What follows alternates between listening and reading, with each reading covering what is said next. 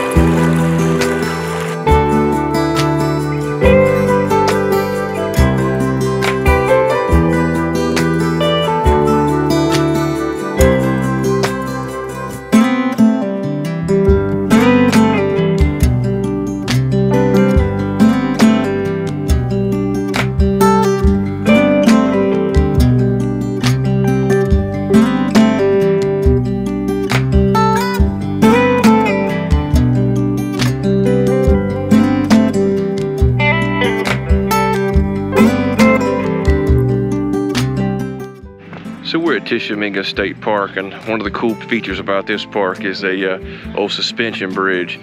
And we got on the suspension bridge. This is one of the first things I seen.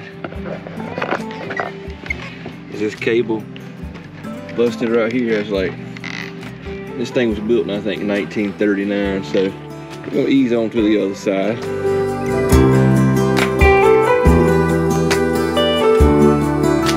Tishomingo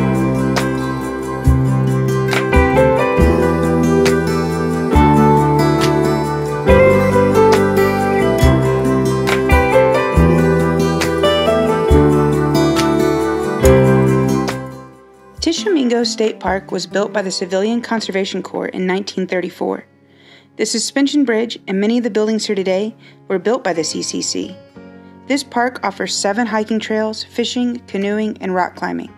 There are many geological features and plant life that cannot be found anywhere else in the state.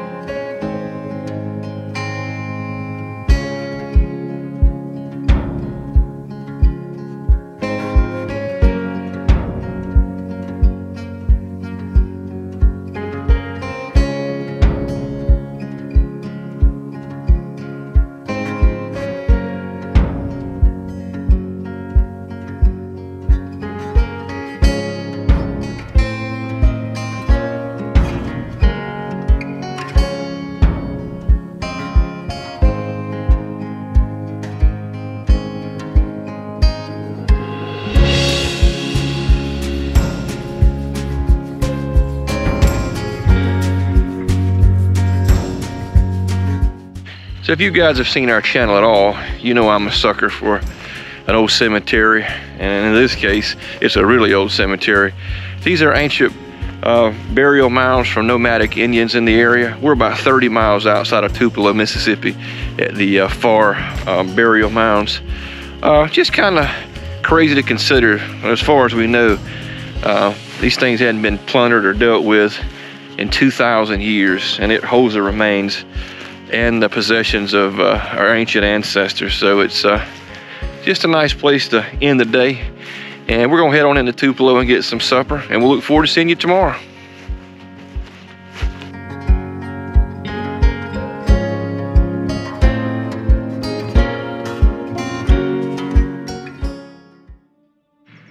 Well, good morning. Day three of our Natchez Trace Parkway road trip. Uh, we stayed at an Airbnb just a couple of miles off the trace, which is nice. They got this cool uh, pond in the back, but there's no fishing or swimming. Something seems strange about that. But today is kind of our kind of a relaxed day. We don't have much on our itinerary. We're going to go into Tupelo, Mississippi, and see the birthplace of Elvis. And uh, I think we're going to stop at the Natchez Trace Parkway Visitor Center. And from there, we're just going to drive the trace and just see how it shakes out.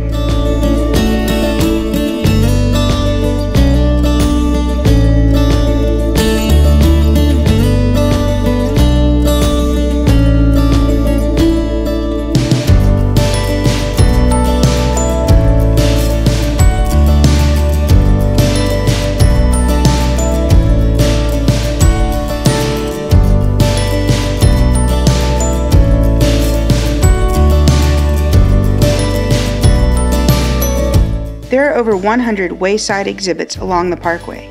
Today we are going to stop at quite a few, but we won't be able to see all of them. Many of the stops educate visitors about the Chickasaw that lived in this area in the 1700s.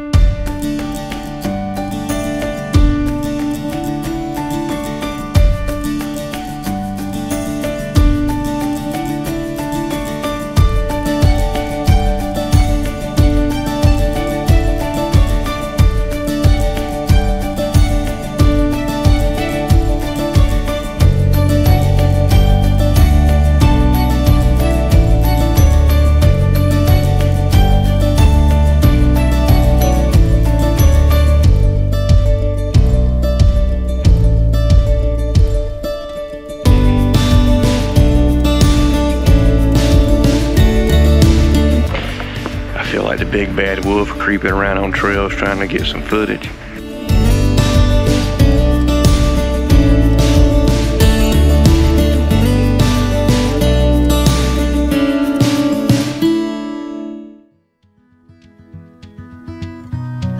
This area is part of the original trace that was still being used during the Civil War. There are 13 unknown Confederate soldiers buried here, and their cause of death is unknown. Marble headstones were erected in 1940, but over time they were stolen and they have been replaced by the National Park Service.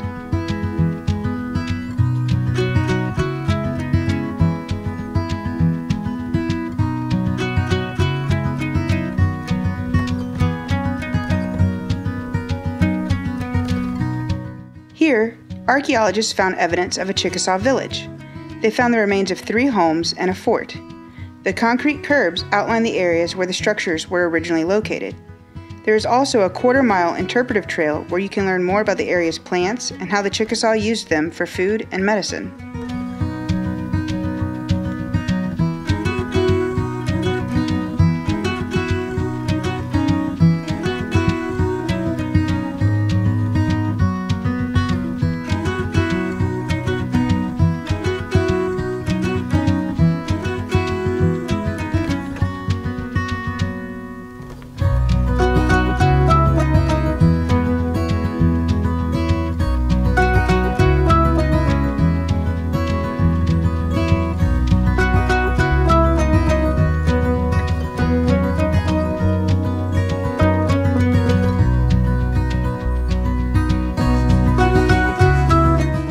These next two stops mark locations of historic significance for the Chickasaw.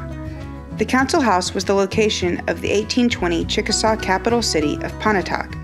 This is where treaties were signed and tribal laws were established. After the Treaty of 1832, the land was surrendered and the council house disappeared. The Tockshish stop marks the location of a small settlement of white men in Chickasaw. It also became the second post office between Nashville and Natchez in 1801.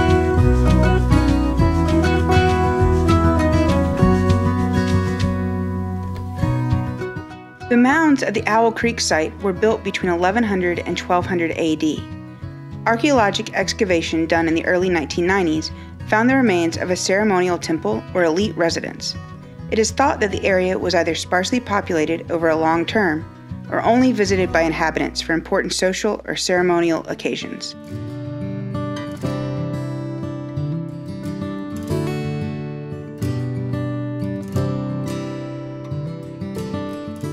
Preserved here is a portion of the original Natchez Trace that is over 200 years old. If you'd like to see more of the original trace, you can check out our Rodney, Mississippi video, where we hiked a portion of the original trace.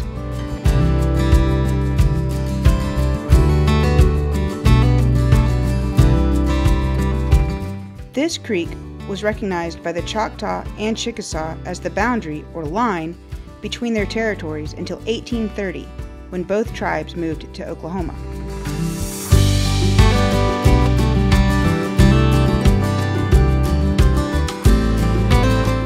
This park is named after the congressman that introduced a bill in 1934 authorizing a survey of the old Natchez Trace. Four years later, the historic road was designated a unit of the National Park System. It's a beautiful park that has an overlook on top of Little Mountain, one of the highest elevations in Mississippi.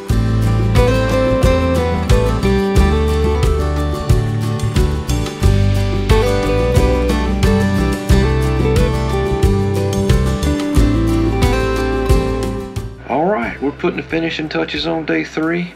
We made it to French Camp, Mississippi, which is where our, our rustic bed and breakfast is.